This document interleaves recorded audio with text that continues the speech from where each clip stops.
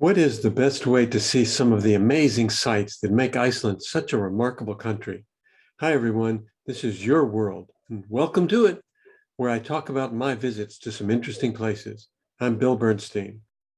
This video is about some of the great things we saw as we visited some of the most well known attractions in that unique island, Iceland. This was during a cruise we took aboard the ship the Viking Sky, and I'll give you some ideas about the ship toward the end of this video, but I want to dive right into the details of what we saw.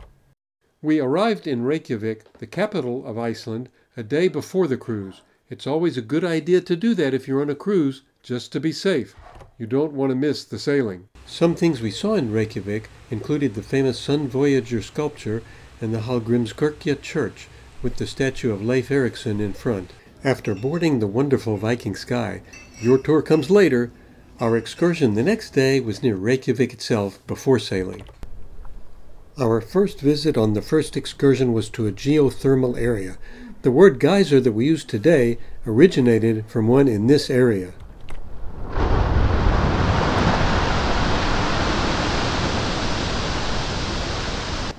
Then we went to Gullfoss, probably the most famous waterfall in Iceland, a country that's home to about 10,000 waterfalls. You heard that right, 10,000. There is a legend that when investors were going to buy the area to construct a dam, a woman named Sigridur sued and then threatened to throw herself in the falls if it were sold.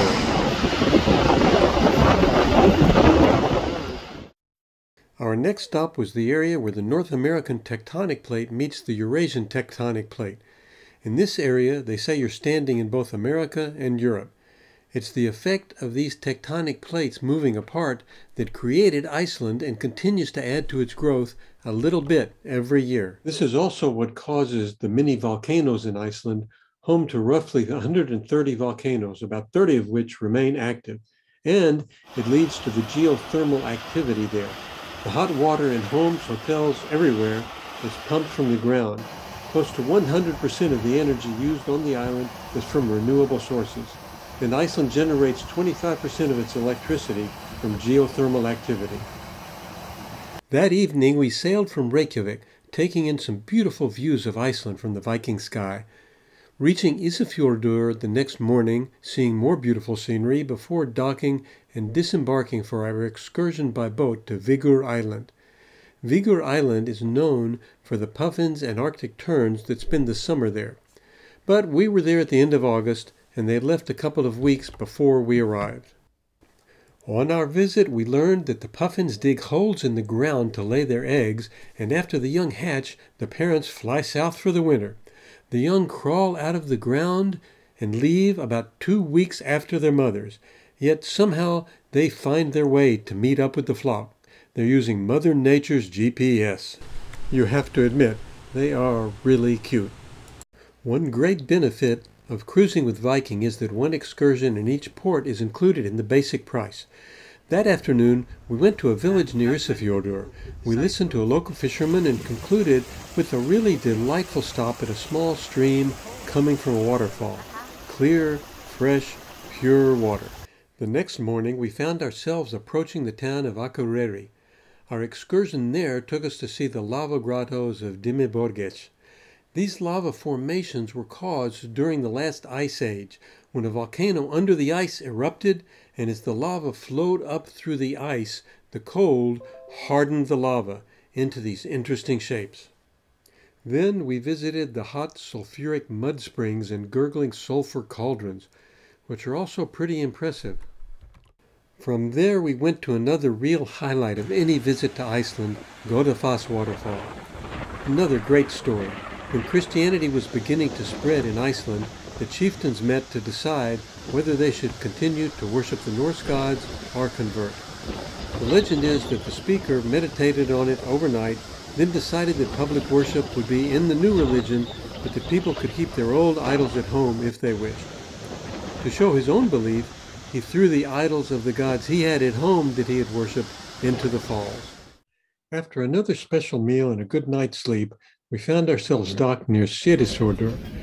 Kim went on the excursion into the town while I relaxed, enjoying the beautiful views from the Viking sky, even watching some jellyfish.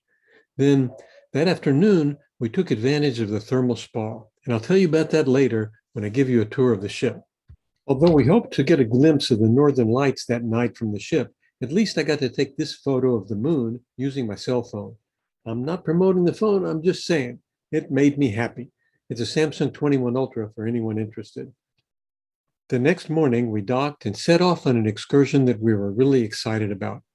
After passing many beautiful scenes, including another ice lagoon similar to the one we were going to that had ice fallen from the glacier, we finally arrived at the Fjallsárlón Ice Lagoon. We boarded a Zodiac, which is a large inflated raft holding about 10 people. There were almost an unlimited number of high points on this whole cruise, but this would be one at the top. The seals were too relaxed, really, to pay too much attention as we passed by. That ice we are holding is about 600 years old. Now, before we get to the last day of the cruise, let's back up and I'll show you some great things about Viking and the ship we were on.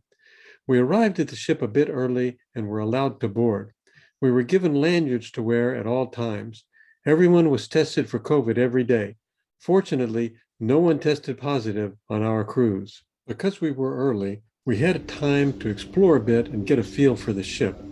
In addition to the buffet at the World Cafe, all Viking Ocean ships have the main restaurant called the restaurant, as well as the two specialty restaurants the Italian restaurant, Manfredi's, where we ate a couple of great meals, and the chef's table, which I'll tell you more about in a minute or so.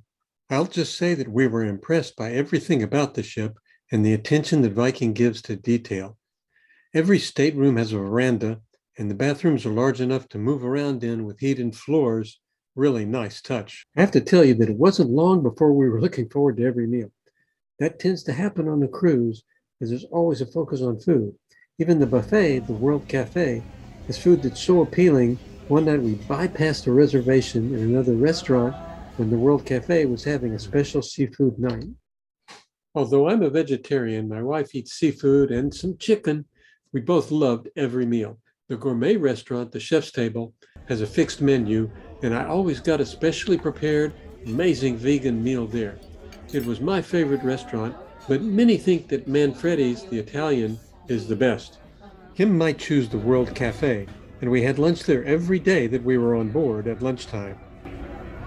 The last day, a visit to the Westman Islands was scheduled, but bad weather kept us at sea, so we spent some quality time in the thermal spa. There's no charge for using this room on Viking ships, another great benefit. The pool with its water jets is actually a bit warmer than the jacuzzi next to it and makes me ready for another Viking cruise. It was another real onboard highlight. After the pool, we went in the steam room and from there to the snow grotto. Yes, it snows. We couldn't bring ourselves to do the ice bucket challenge, but there were a lot of souls that were braver than we were and loved it. So you should think about giving it a try. Besides the excursions into the sites, we enjoyed all the time we spent on board the ship. All the Viking ocean going ships are structured the same, so I could really be talking about any of them. But we finally docked in Reykjavik. Time to disembark. We had great guides on the excursions we took. We didn't worry about packing or unpacking. And because Viking ships are not as large as those of many other lines, with a maximum of 930 passengers, we never felt that the group we were with on each excursion was too large. If you want to learn more about the specifics of cruising, in addition to this and any future videos I'll post, there are many great YouTube channels about cruising you can check out. I learned a great deal from Tips for Travelers. In Reykjavik, our last day before leaving, we went to the Blue Lagoon late in the afternoon. This is another one of the country's famous attractions, hot mineral water coming from the ground. The mineral content of the water is supposed to work wonders. It felt great, and we stayed in the water at least a couple of hours. Thanks for watching. If you enjoyed this video and would like to see more, be sure to hit subscribe below. You can click on this link to my video about a tour we took to the most visited sites in Italy. I look forward to seeing you again soon. Until then, so long from all of us here in your world.